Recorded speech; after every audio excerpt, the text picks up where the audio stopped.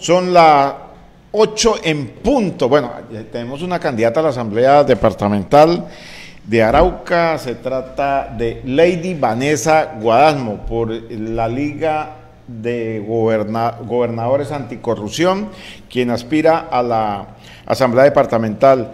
Vanessa, muy buenos días, gracias por aceptar la invitación. Bueno, y usted toma un momento a otro esta decisión de eh, ser candidata a la Asamblea Departamental de Arauca.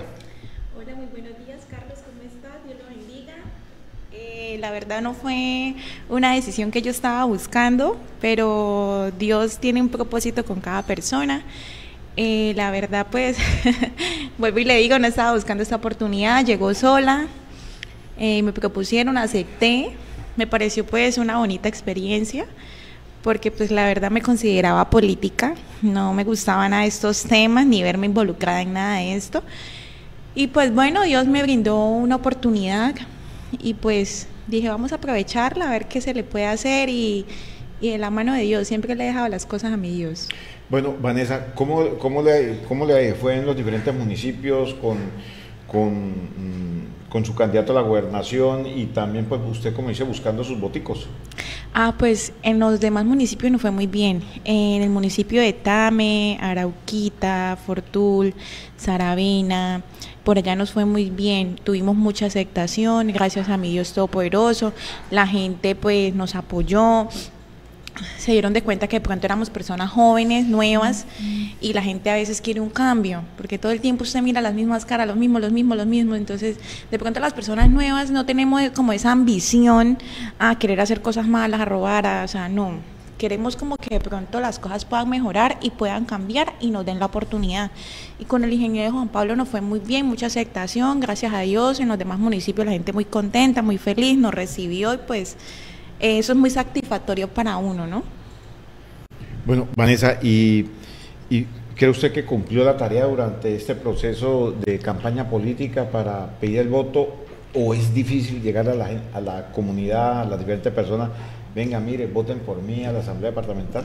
Bueno, al comienzo pensé que era difícil, pero después me, vi, me di cuenta yo misma que pues es una tarea fácil, solamente que es un poco desgastante porque a veces uno se encuentra con gente maleducada, grosera, entonces pues uno le sabe llegar con la carisma, la amabilidad, más que todo uno como de mujer, uno siempre con una buena vibra, toda sonriente, hola, ¿cómo estás? Buenos días, mire, ya tienes candidato a la gobernación, a la asamblea y usted por ahí se le va metiendo a las personas, ¿me entiende? Tú le regalas una tarjetita, un folletico, le comentas, le hablas acerca de tus propuestas y pues es chévere, es chévere porque pues a veces la gente te abraza, cuenta conmigo, mira, venga, te paso tu número, o sea, así y pues para mí en, este, en estos meses, que fueron casi como cuatro meses, pues al comienzo me dio duro, pero después vi que la tarea era fácil, me encuenté, me empapelé como en el cuento, me supe meter ahí y después vi que era como más relajado. Y entonces pues eh, yo soy una joven de 26 años, me di cuenta que pronto en la universidad, en el gimnasio donde yo acudo, eh, miraban que yo era joven, y decía, ay Vanessa, yo no sabía, o sea, me entiende, me abrazaba, me decía, no cuenta conmigo. Entonces, para mí esas cosas me llenan, como que me da alegría. Yo le mire, pensé que de pronto la gente me iba a rechazar, me iba a hacer, no, ¿usted qué hace metida en eso? ¿Me entiende?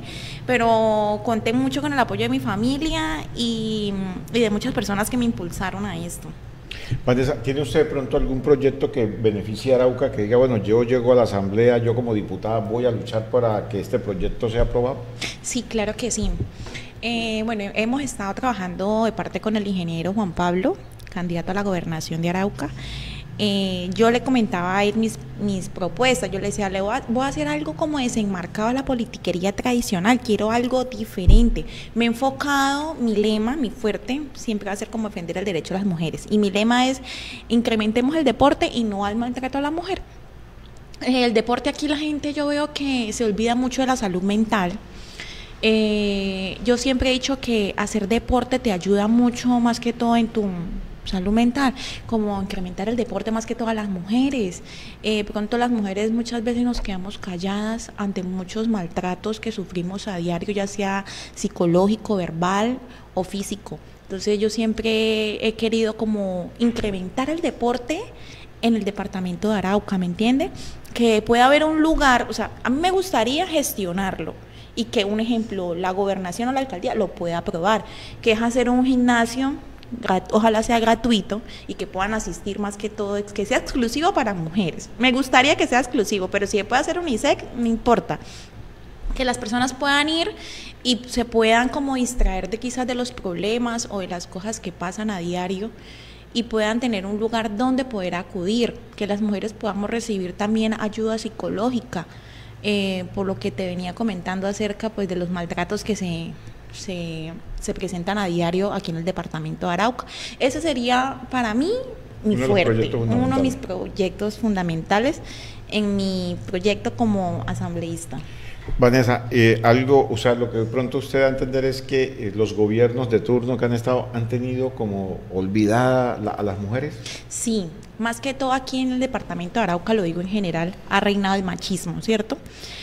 Eh, todos estos mandatos siempre han hombres, hombres, hombres, hombres. Entonces, no tengo nada en contra de los hombres, pero sí me gustaría que de pronto llegara una mujer, que fuera una mujer que gestionara, fuera vocera, una mujer agradable, que no sea antipática, grosera, que porque agarró poder se sublevó. No, ya la miramos a contar con ella porque, mire, ella nos puede ayudar a gestionar, a hacer gestión uno como asambleísta solamente pues hace gestión para que esos proyectos puedan, puedan ser aprobados por los altos gobernantes y pues se puedan cumplir lo que uno sueña, lo que uno quiere, ¿me entiende? Y claro que sí se han olvidado muchas cosas, porque siempre hablan de otras cosas que no deben hablar o se enfrascan en otros temas y uno dice, bueno, pero están olvidando esto, están olvidando esto.